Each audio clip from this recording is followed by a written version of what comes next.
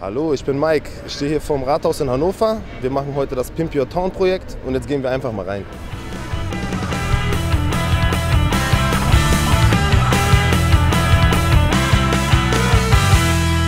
Ich komme von der BBS 6 und mache eine Ausbildung als Kraftfahrzeugmechatroniker Schwerpunkt Karosserie.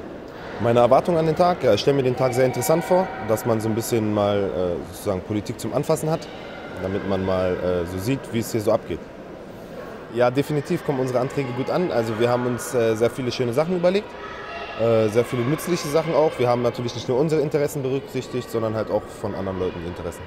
Ähm, also ein Antrag zum Beispiel, den ich selber geschrieben habe, das war der, ähm, dass man zu späterer Zeit schneller fahren kann, zum Beispiel auf der Fahrenwalder Straße, weil ich eigentlich abends ganz oft auf der Fahrenwalder Straße unterwegs bin und ja, teilweise dieses äh, gekrieche Schneckentempo ist halt immer relativ äh, nervig und ja, wenn man halt zu schnell fährt, dann gibt es auch wieder Ärger. Deswegen haben wir uns gedacht, so äh, machen wir das Ganze doch einfach mal ein bisschen schneller.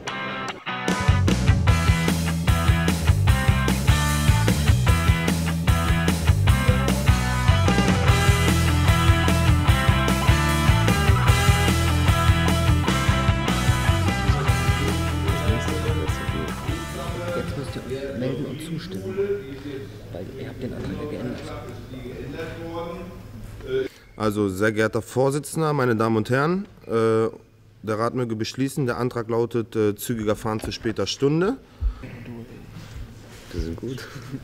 Ja, also wir waren gerade mit äh, meine Klasse und äh, drei andere Klassen aus anderen Schulen im Mosaiksaal und ja, wir haben halt ähm, Anträge durchgesprochen und abgestimmt darüber, ob wir sie annehmen oder ablehnen wollen. Die Anträge der anderen Schulen waren halt auch alle sehr eigenbezogen, sage ich mal. Jeder hat so seine eigenen Interessen sozusagen vertreten. So, wir hatten ja auch sehbehinderte Schüler, die haben sich dann viel mehr dafür eingesetzt, dass zum Beispiel Hannover ein bisschen äh, behindertengerechter wird.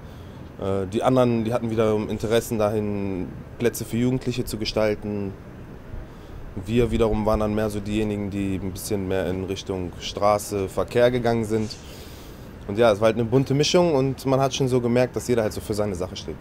Also wir besprechen das Ganze dann gleich in den Fraktionen. Und dann sozusagen die Anträge, die uns am wichtigsten waren, sprechen wir nochmal durch und stimmen darüber dann ab. Und das ist immer das, was das Ansehen der heutigen Jugend, so wie die ganzen älteren Leute heutzutage sagen, ach die Jugend von heute, ach die Jugend von heute. Weil die sehen keine positiven Sachen von uns, sondern die sehen immer nur negative Sachen. Und deswegen haben wir das in unserem Ausschuss äh, abgelehnt. Dann fühlt man sich halt auch so ein bisschen verlassen von der Politik, so als Jugendlicher.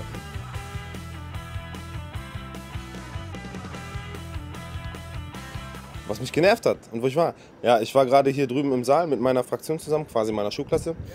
Und ja, was hat mich genervt? Genervt hat mich, dass mein Antrag leider nicht durchgekommen ist. Das, was ich euch schon erzählt habe mit dem ähm, ein bisschen schneller fahren ab 22 Uhr, haben sie leider nicht mit reingenommen. Ja, und ansonsten war eigentlich alles gut. Also gleich geht's in die Ratssitzung. Und ja, dann stimmen wir über unsere Anträge ab und auch über die anderen. Und ja, mal gucken, was wir durchkriegen und was nicht.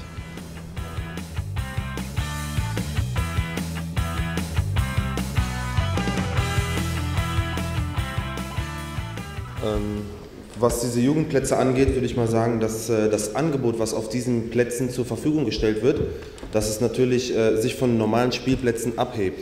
Auf normalen Spielplätzen haben wir zum Beispiel ein Klettergerüst oder einen Sandkasten. Auf Jugendplätzen wäre es dann halt eine Halfpipe oder ein Basketballplatz oder ein Fußballboker. Deswegen etwas, wo äh, ein bisschen verstärkt mehr auf die Jugend geachtet wird, wo die Jugendlichen sich treffen können und nicht, wo noch irgendwie Kleinkinder zwischen sind, sondern einfach nur, dass richtig Acht auf die Jugendlichen gegeben, gegeben wird. Dankeschön. Es ist entschieden schon eigentlich einheitlich abzustimmen und äh, ja, gemeinsame Sache zu machen sozusagen, weil es dann einfach ist, was durchzubringen.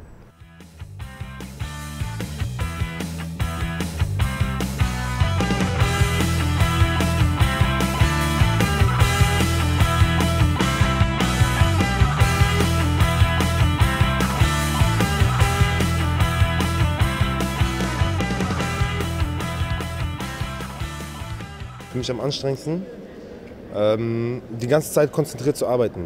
So wenig wie möglich rumzualbern, aber man will ja auch was durchsetzen, also muss man auch konzentriert sein. Den Tag allgemein, der war echt interessant. Es war mal was Neues kennenzulernen.